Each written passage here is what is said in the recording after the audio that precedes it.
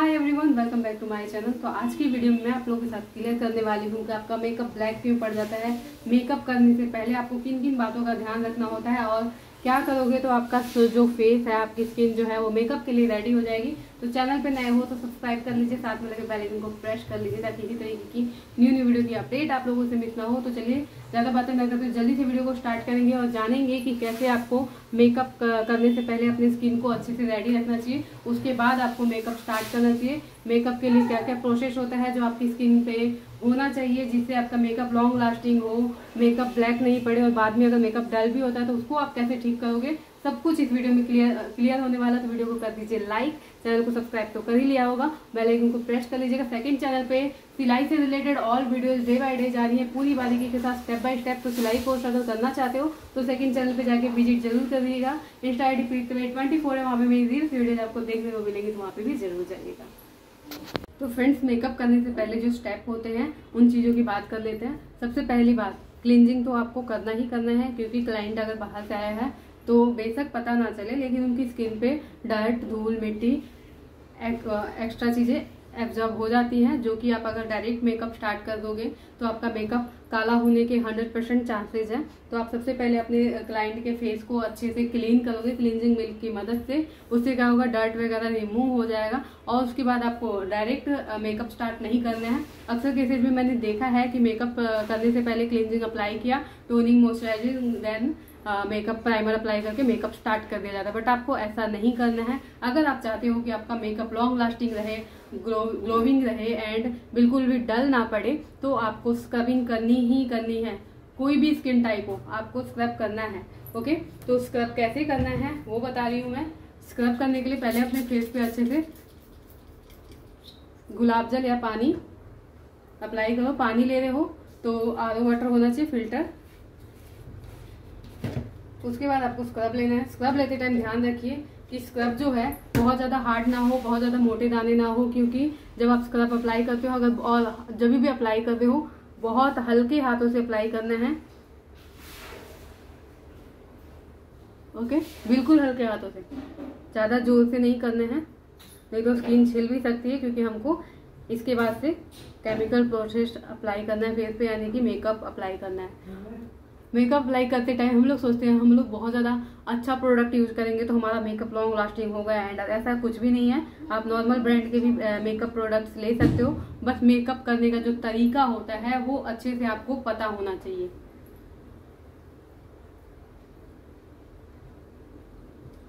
बिल्कुल हल्के हाथों से पाँच मिनट स्क्रबिंग करनी है।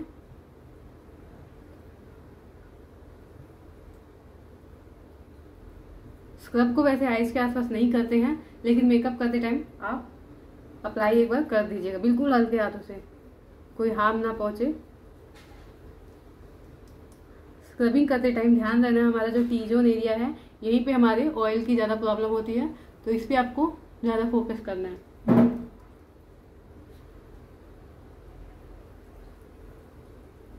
देन इसको साफ़ कर लेना है।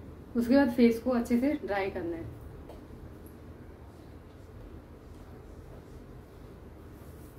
ओके ये हमारा सेकंड स्टेप हो गया मेकअप के लिए मेकअप करने से पहले स्किन को रेडी करने के लिए। फ़र्स्ट था क्लिनजिंग मिल्क सेकंड हो गया हमारा स्क्रबिंग थर्ड में आपको कोई अच्छा सा टोनर लेना है और अपने फेस पे अप्लाई करना है। टोनर नहीं है तो आप गुलाब जल भी यूज़ कर सकते हो। एक चीज़ का ध्यान रखें, गुलाबरी जो है, उसका गुलाब जल आप ना यूज़ करें। क्योंकि गुलाबरी जो है, गुलाबरी का जो प्रोडक्ट गुलाब जल है, वो मैंने कई क्लाइंट्स पे यूज़ किया है, जिसकी वजह से उनके स्किन पे काफ़ी रैसेज आ जाते हैं। चकते चकते से अजीब बन जाते हैं। तो गुलाबरी का जो गुलाब जल है, वो सबको सूट नहीं करता है। तो गुलाबरी का छोड़ के आप कोई भी गुलाब जल अप्लाई करोगे। दो मिनट तक छोड़ोगे, ताकि अच्छे से जो टोनर है वो आपकी स्किन में एब्जॉर्ब हो जाए। उसके बाद आप कोई अच्छा सा मॉइस्चराइजर लोगे। लेग में पीस मिल्क का, काफ़ी टाइम से मैं दिखा रही हूँ। अगर आप मेरी वीडियो लॉन्ग टाइम से देख रहे हो तो आपको पता होगा। थोड़ा सा मॉइस्चराइजर लेना है। कई लोग क्वेश्चन करते हैं कि मैम मॉइस्चराइज मैंने, हमने अपने फेस को अच्छे से किया है तो क्या हम लोग प्राइमर स्कीप कर सकते हैं? तो इसका आंसर है नहीं। बिल्कुल नहीं कर सकते हो। मॉइस्चराइजर आपकी स्किन में एब्जॉर्ब होगा। देन प्राइमर का काम है आपकी, आपके ओपन पोर्स को हाइड करना। मेकअप और आपके फेस में आपके स्किन के बीच में एक लेयर बनाता है प्राइमर जिससे आपकी स्किन पे वो जो प्रोडक्ट हम लोग यूज़ कर रहे हैं वो अंदर तक नहीं जाएगा और आपके मेकअप को प्राइमर प्राइमर लगाने के बाद आपका मेकअप जो होता है वो सॉफ्ट अच्छे से ब्लेंडिंग बिल्कुल एचडी लुक देता है और बहुत अच्छा लुक देता है। तो प्राइमर का काम जो है वो मॉइस्चराइजर से बिल्कुल अलग है। मॉइस्चराइजर का काम है आपकी स्किन को हेल्दी रखना, आपकी स्किन में एब्जॉर्ब होके, आपकी स्किन को हेल्दी बनाना, आपकी स्किन को हाइड्रेट करना ओके तो आप मॉइस्चराइजर अप्लाई करके डायरेक्ट मेकअप अप्लाई नहीं कर सकते हो। आपको प्राइमर अप्लाई करना है। तो इस तरीके से आप अपनी स्किन को रेडी करोगे मेकअप करने से पहले, ताकि आपका मेकअप जो है वो काला ना पड़े मेकअप जो है वो लॉन्ग लास्टिंग हो एंड नेक्स्ट स्टेप जो है वो प्राइमर तो प्राइमर को भी अप्लाई करना है। तो मैं भी मेकअप नहीं बता रही हूँ आपको, सिर्फ़ मैं ये बता रही हूँ कि आप मेकअप करने से पहले अपनी स्किन को रेडी कैसे करोगे? ओके तो इसके बाद हम लोग प्राइमर अप्लाई करेंगे। दो टिप्स और देती हूँ।